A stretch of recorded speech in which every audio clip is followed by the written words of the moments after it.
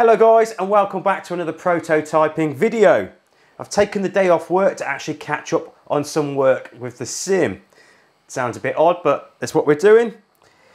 Today we're doing the single control column, the base part and there's, there's actually two versions. Now this is the fixed base specifically for the 737 so the angles are all permanently fixed ready to go for the 737. So I think it's got like seven degrees forward slant and then it's got a maximum of 10 degrees aft, 10 degrees forward.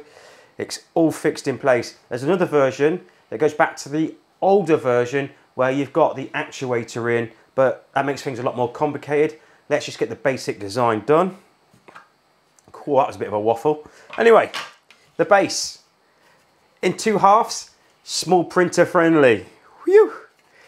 Got to join those two halves together and you can see that this time I've already inserted the M4 brass inserts there on the top. Those two are going to slot together and then we've just got some little M4 countersunk screws to hold the two parts together.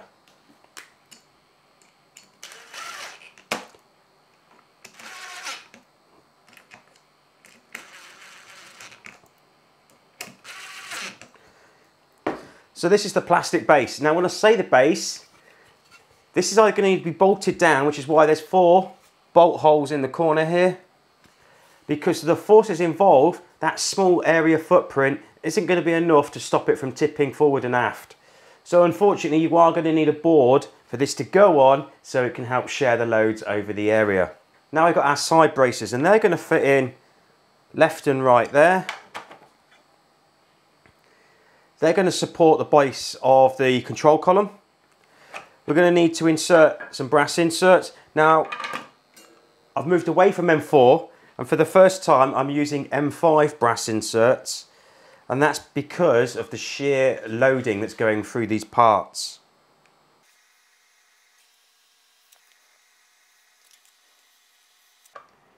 There's our brass inserts all fitted. So these can slot into position into the recesses that have been built in there. That's all to help with the structural strength.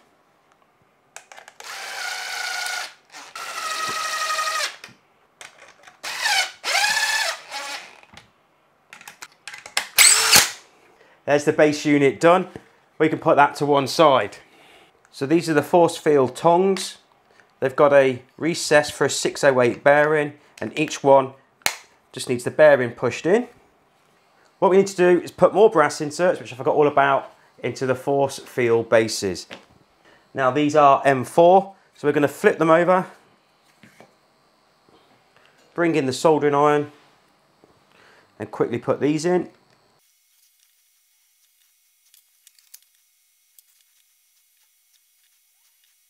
And I think I've just noticed there's a bit of support material in both, so we're missing a hole in both positions. You may just be able to see that on camera there that little circle, that needs to come out.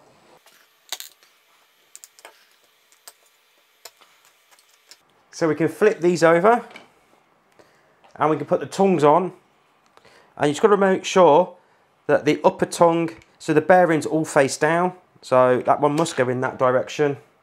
And what I mean by that is when you put these on, you can see hopefully there's a little raised portion there and the bearing needs to sit on that so it doesn't interfere and then the tongue goes over the top and that way it's lifted off the surface by about 0.4 of a millimetre so they don't actually contact the back plate here.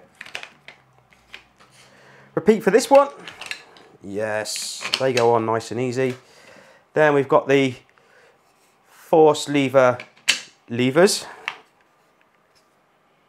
And we need to put some long screws through there. So I've just realised I've only got M4 by 40 millimeter dome head screws and they need to be countersunk. Let me just check round to make sure they haven't come in yet. We'll continue with these because I can't find them. Uh, that's not ideal. Now I don't know if dome heads are going to work because I'm not sure there's enough clearance between this part and the frame that it sits against. In the meantime though, we will put some bearings in. Now these are 6001 bearings and they just push in top and bottom. It doesn't matter if they're a little bit loose. As you can see, This one is falling out on my finger here because they'll be held in when they go against the units. So in comes the control column and I dropped it and it sheared clean in half on the bottom of the yoke here. That's why there's no yoke handles anymore. I'm going to feed the wires through the drill guide. Now, the drill guide goes on there and it needs to be 90 degrees to the head.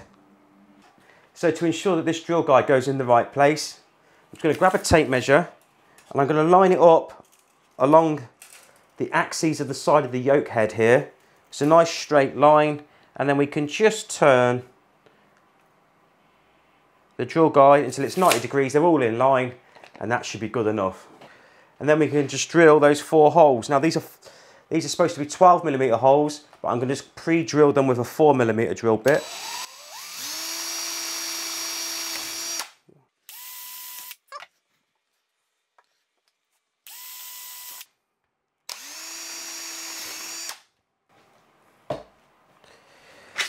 You take the drill guide off. And these are going to go in place, but we need to make the holes a lot bigger. In fact, I said 12 millimeter. I think the bottom one is 8 millimeter by the looks of it there.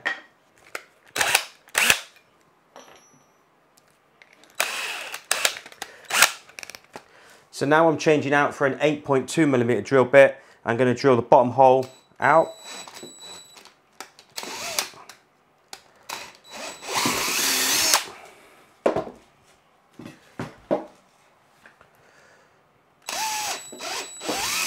So I don't have a 12 millimeter drill bit, but I do have a spade bit, and we're going to see how this goes.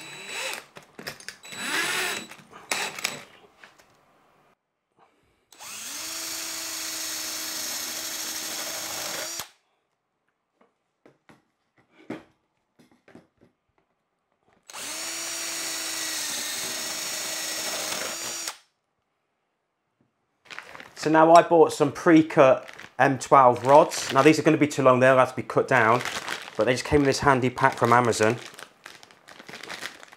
It was actually cheaper to buy 10 than it was to buy one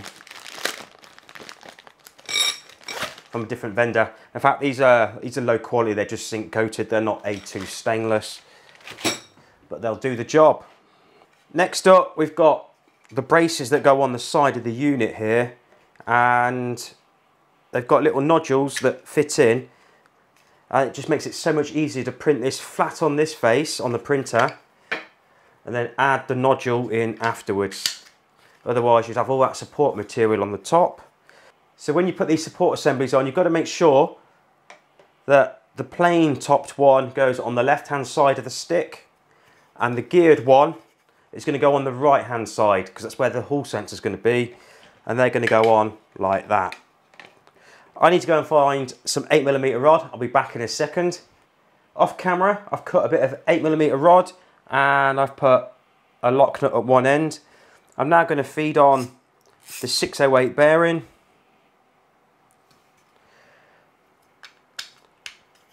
Going to put the noggin in and I'm going to push that whole assembly through like so. And that's how it's going to look on that side. That's now going to go into the control column base. We've got the black side. That's going to go on there. We've got another 608 bearing. And finally a lock nut.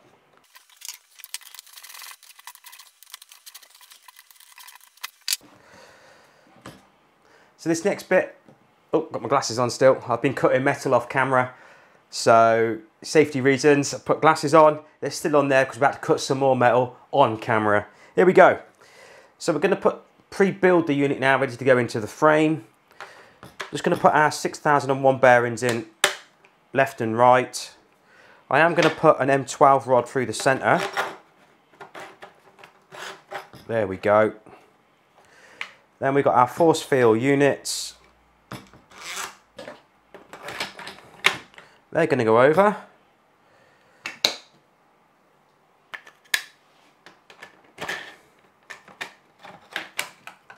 Okay, so now we need to build the force feel unit spring bars. They're the two bars that go through the force feel tongues here and put the torque loading onto the control column. What I'm going to do is got my M8 threaded rod and all I'm going to do is put it between the two white tongs, these two white parts here. And it just needs to be slightly shorter than those two distances. And we get to cut it now. We need two of them.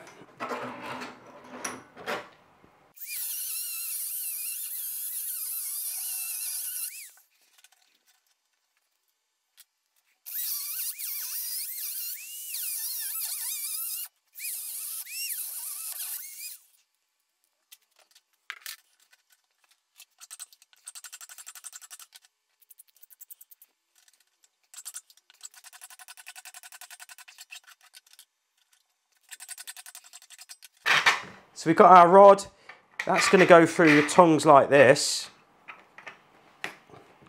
And we're going to put some springs on there. Now,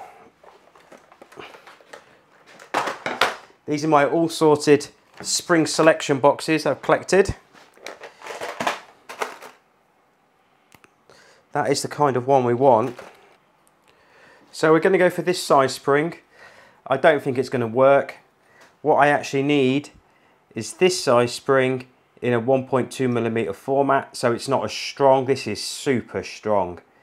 It needs to be this size but smaller. And a, a couple of these would have been ideal. That I haven't got so we have to wait for them to come on order. But in the meantime I can then see if this design is going to work anyway. And we're going to feed those rods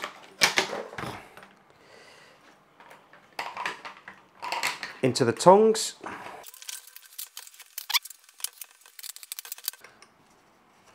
So I'm just going to back these inner nuts off so we can see what distance we need. You can see that we've got one tiny spring in the middle. Then I'm just going to tighten up these nuts against the tongs. That should set the correct distance. And then we can put our lock nuts on the outside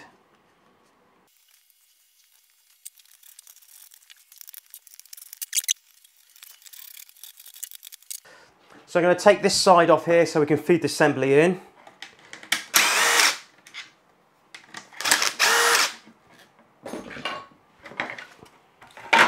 Aha. And that means I can just put that through there. Going to take that bearing out.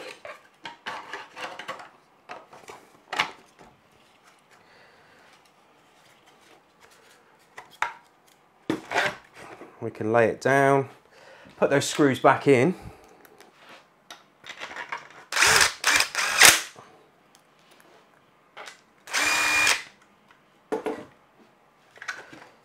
Okay. Now to stop this unit from falling over, you can see I've got another M12 rod here.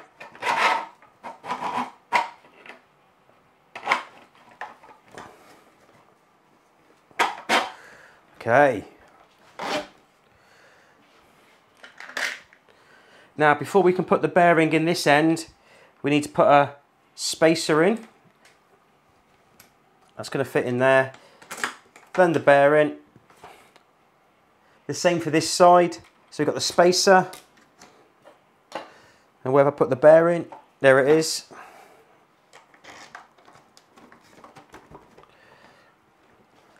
I need to find some M12 nuts. Now these should be lock nuts, but as I know I'll be taking this apart very shortly. I'm just going to use standard nuts, that makes them nice and easy to go on. There we go.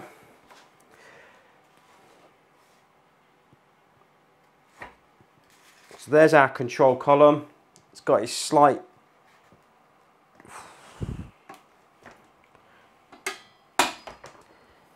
Okay.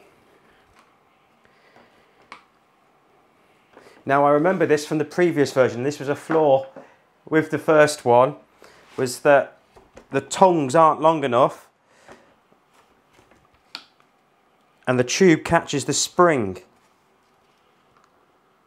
But that's an easy fix. We just make those tongs longer to clear the tube assembly. I have to say, that tiny little spring in there is doing a really good job. This is really quite hard to push. I think it's the, the right tension, unbelievably. I would be happy with that.